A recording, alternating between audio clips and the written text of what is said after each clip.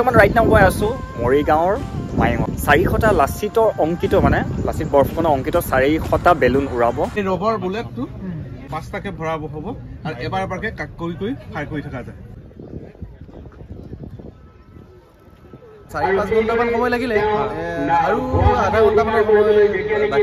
Right now বাজিছে প্ৰায় এটাই বাজিছে বুলি ধৰিব পাৰে চাৰে বাৰটা বাৰটা পঞ্চল্লিছ মানে হৈছে। তো অলপ আগত অকণমান বেয়া আছে। কেনেকুৱা চুনচান।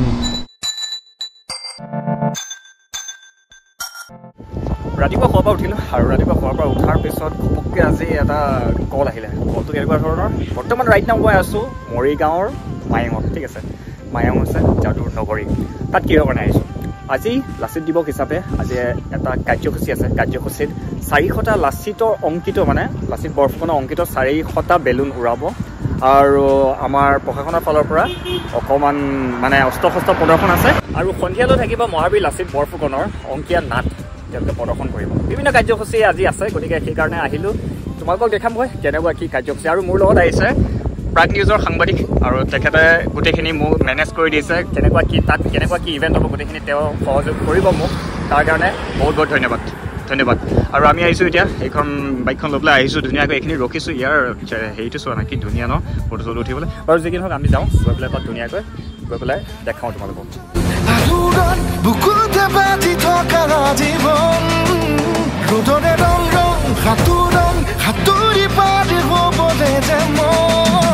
যাত্ৰা হেঁপাহিছিলা সাগৰ সমান যাত্ৰা।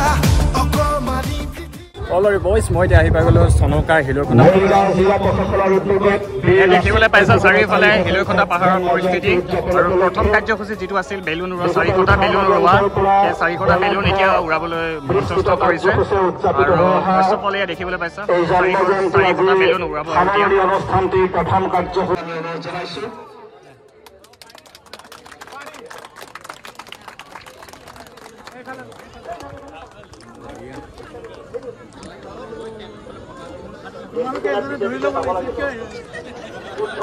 যিটো প্ৰথম কাৰ্যসূচী আছিলে এইটো সম্পন্ন হৈ গ'ল আৰু হোৱাৰ পিছত আমি অকণমান খানা খাবলৈ আহি গ'লোঁ। এইফালে খানা চানা পূৰা চলি আছে চবফালে এইফালে।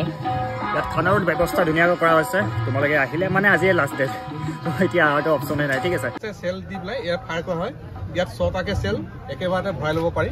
তাৰপিছত সময় অনুযায়ী এটা এটাকে ফায়াৰ কৰি টিয়াৰ গেছ টিয়াৰ গেছৰ। কম্বাইন ইয়াৰ পিছত মডিফাই কৰি পেলাই এইটো বনোৱা গৈছে। ইয়াৰ পিছত বনাইছে। ইয়াৰ কিন্তু মেগজিনটো আপোনাৰ বত্ৰিছ ৰাউণ্ডলৈকে আহিব অঁ ইয়াৰ কেপাচিটিটো বেছি আছে ডাবল ফিল আছে। আৰু এমুনেশ্যনটো ইয়াত বেছি হ'ব। আৰু ইয়াৰ ফায়াৰিংটো খুব সুন্দৰ। টুৱেল্ভ বৰ একশ্যন পাম গান। এই ৰবৰ বুলেটটো এইখিনিৰ পৰা ওপৰলৈকে ৰবৰৰ আছে। ইয়াত টিউব এইটো কি কয় মেগজিন আছে। পাঁচটাকে ভৰাব হ'ব। আৰু এবাৰ এবাৰকে কাক কৰি কৰি ফায়াৰ কৰি থকা যায়। আপোনাৰ এই মাইকবিলাক চাইছেনে? একদম ওচৰত পাইছেনে? একদম ওচৰতে পোৱা যেন লাগিছে। অঁ কিন্তু এতিয়া আপোনাৰ বেকা হৈ আছে ঠিক কৰি ল'ব লাগিব। তোমালোকে দেখা পাইছা লাচিত দিৱসৰ লগত সংগতি ৰাখি চবফালে বিভিন্ন কাৰ্যসূচী কৰা আছে। কিন্তু তাৰ মাজতে এটা ব্যতিক্ৰমী প্ৰচেষ্টা কৰি আছে আমাৰ দাদাই। দাদাই এটা ব্যতিক্ৰমী প্ৰচেষ্টা কৰি আছে সেইটো হৈছে এইফালে দেখিবলৈ পাইছা তোমালোকে। লাচিতৰ মূৰ্তি বনাই আছে দাদাই। দাদা ক'ৰ পৰা? ইমান ধুনীয়া বনাইছে। আচলতে এইটো মুখা শিল্প আমি কৰিছোঁ ব্ৰহ্মপুত্ৰ বালি চাপৰিতে যিটো অনুষ্ঠানটো হৈছে আমাৰো সুবিধা হৈছে ব্ৰহ্মপুত্ৰ বালিবোৰ বৰ ধুনীয়া পাইছোঁ বালিখিনিকে দম কৰি লৈ পেলাই আমি ইয়াতে বালিতে এতিয়া মুখা শিল্প আৰম্ভ কৰিছোঁ আমাৰ এতিয়া অনুষ্ঠান আছে অনুষ্ঠানটোৰ নাম হৈছে পূৰ্ণ শিল্প তাত আমি ভাস্কৰ্য শিল্পৰ চৰ্চা কৰোঁ চিত্ৰ ভাস্কৰ্যৰ চৰ্চা কৰি আহিছোঁ আৰু তাৰে আমি শিল্পীসকল আহিছোঁ মোৰ ভাইটি জ্ঞানদীপ নাথ আৰু মই এনেকৈ আমি এনেকৈ কাম কৰিছোঁ মুগা শিল্পটো আমি মানে লাচিতৰ এটি কল্প মূৰ্তি এটা কৰিবলৈ যত্ন কৰি আছোঁ। কিমান কিমান সময় মান লাগিছে সময় কিমান আমাৰ লাগিছে? চাৰি পাঁচ ঘণ্টামান সময় লাগিলে। এ, আৰু আধা ঘণ্টামানৰ সময় বাকী আছে। চাৰি ঘণ্টামান লাগিলে বোধ হয় ইয়াৰ পিছতে একেবাৰে শেষৰ অন্তিম পৰ্যায়ৰ কাৰ্যসূচী হৈছে চাৰিশ গছ চাকি বাপৰে।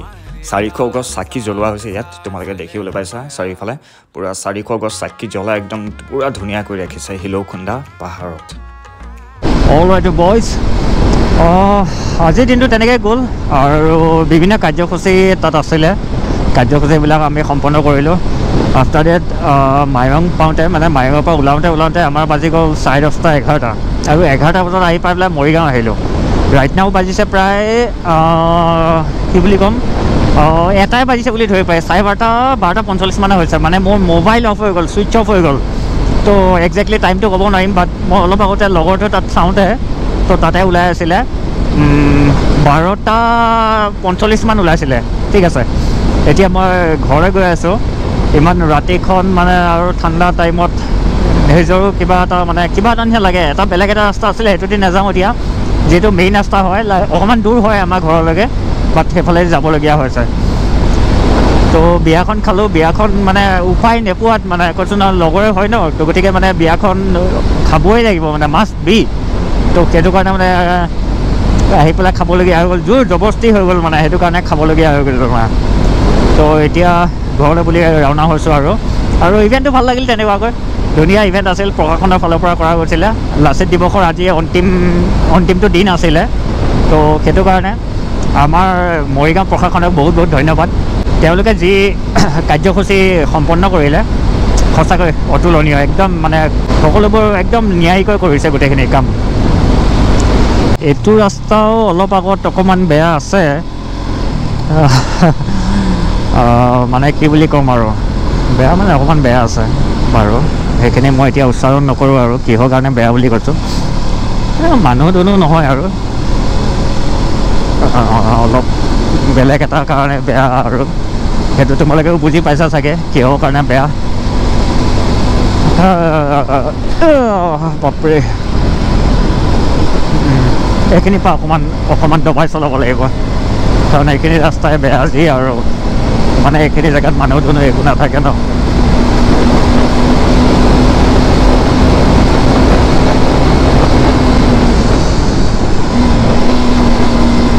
বা কেনেকুৱা চুনচান অ' মাই গড